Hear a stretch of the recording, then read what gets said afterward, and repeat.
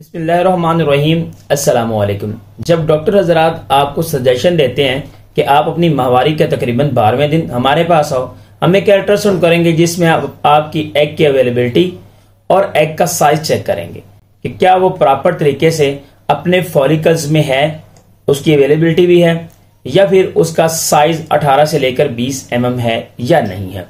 फिर आपको सजेशन देते हैं कि आपने रिलेशन रखना है तकरीबन माहवारी के पंद्रहवें दिन अल्ट्रासाउंड के दो तीन दिन बाद। और ऑल्टरनेट डेज़ पर रखना है। एक दिन मिस करने के बाद एक दिन आपने रिलेशन रखना है। लेकिन होता यही है कि जब आपकी एग की अवेलेबिलिटी भी होती है, उसके बाद वो एग रप्चर नहीं हो पाता। फिर वो जब उस हॉल से बाहर नहीं निकलेगा, यानी कि फॉरिकल्स के हॉल से बाहर निकलने का जो प्रोसेस होता है, इसको एग रप्चर होना बोलते हैं। जब वो बाहर नहीं निकलेगा, और ना तो वहाँ पर उसको फिमरी उठाएगी। डेफिनेटली उसको उठाएगी नहीं। और ना आपके स्पर्म जो होते हैं, वो होते हैं ट्यूब्स के अंदर।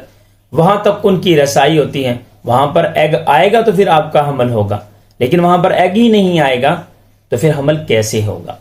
तो इस वीडियो के अंदर मैं आपको एक ऐसे इंजेक्शन बताने जा रहा हूँ, जो आपने रिलेशन रखने के तकरीबन 48 घंटे पहले आपने वो इंजेक्शन लगवा लेना है। या 36 घंटे भी पहले लगवा लें तो आपके जो कंसीविंग के चांसेस होते हैं, वो बहुत बढ़ जाते हैं। मेरा नाम है हकीम मोहम्मद अहमद। आगे बढ़ने से पहले चैनल को लाजमी सब्सक्राइब कर लीजिएगा। ये जो इंजेक्शन होता है बेसिक तौर पर, ये एग का जो ऊपर वाला खॉल होता है, जिसको फॉलिकल बोला जाता है, इस फॉलिकल की दीवार को कमज़ोर करता है। ताकि वो जो एग हो, वो रप्चर हो जाए, उसमें आसानी पैदा हो जाए। तो इसका नाम है ट्रिगर इंजेक्शन पहले इसका थोड़ा सा वर्क समझ लें, और उसके बाद सारी डिटेल आपको समझाता हूँ। मोस्टली क्या होता है कि जब भी आप कंसीविंग के लिए जाते हो तो हॉर्मोन्स का जो प्रोसेस होता है, वो अपने वक्त के साथ बढ़ता जाता है। जैसे ही आपके जिसम के अंदर लिवटीनाइजिंग हार्मोन जिसको हम एल एच हार्मोन बोलते हैं, इसकी रेशियो इंक्रीज होती है, वही एग जो होता है, वो आपका रप्चर हो जाता है। लेकिन जब आपका एल एच हार्मोन का लेवल इंक्रीज नहीं होता, अपने अरूज पर नहीं पहुँचता तो वो आपका जो एग होता है, वो रप्चर नहीं होता, उस खोल से बाहर नहीं निकल पाता।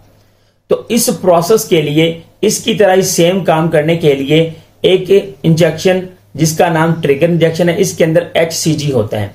ह्यूमन क्रोनिक गनोडाट्रोपिन ये बिल्कुल आपके एलएच की तरह ही काम करता है, क्योंकि एलएच की जो एज होती है, वो थोड़ी सी कम होती है। इस वजह से एच जो इंजेक्शन होता है, ये आपको दिया जाता है, ताकि जो आपके एग का ऊपर वाला खॉल जिसको फॉलिकल बोलते हैं, उसकी दीवार कमज़ोर हो जाए। और वो एग जो हो, वो बा आसानी बाहर निकल आए। क्योंकि जब एग बनता है तो ये मेयोटिक एम वन में होता है, जिसमें इसकी जो क्रोमोसोम की तादाद होती है, वो छियालीस होती है। जैसे ही ये दो हिस्सों में तब्दील होता है तो इसकी तादाद 23 यानी कि तेईस रह जाती है, और वो मेयोटिक एम टू में चला जाता है।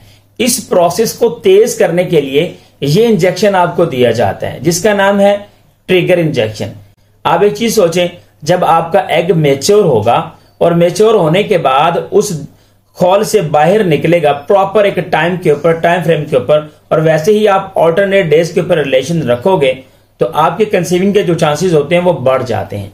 अब मेन चीज़ ये है कि आपको रिलेशन कब रखना है इंजेक्शन कब लगवाना है। ये इंजेक्शन आप लगवा सकते हो माहवारी के तकरीबन बारहवें दिन। बारहवें दिन अगर आप लगवाते हो तो आपका ये जो ड्यूरेशन होता है छत्तीस से लेकर अड़तालीस घंटे का, वो तकरीबन आपकी ओवलेशन के करीब करीब आता है। तो उसके बाद आपने एक दिन मिस करने के बाद एक दिन रिलेशन रखना है। दैट्स वाई कि आप जल्दी से जल्दी कंसीव कर सको। लेकिन एक चीज़ का आपने ध्यान रखना है, जब भी आप इस इंजेक्शन का इस्तेमाल करो तो अपने डॉक्टर के मशवरे के साथ इस्तेमाल करना है। क्योंकि कम इलमी की वजह से ये ना हो कि आपको इसके कुछ साइड इफेक्ट्स का सामना करना पड़े। उम्मीद करता हूँ कि आपको ये वीडियो पसंद आई होगी। Thanks for watching Ahmed tips वसर